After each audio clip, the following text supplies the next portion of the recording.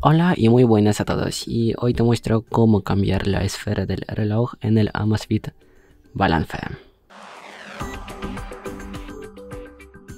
Ah, pues bueno, primero que tienes que hacer es encender tu reloj, después de eso deslizar hacia abajo. Aquí más abajo derecho pulsamos en ajustes. Aquí tenemos esfera del reloj y hora.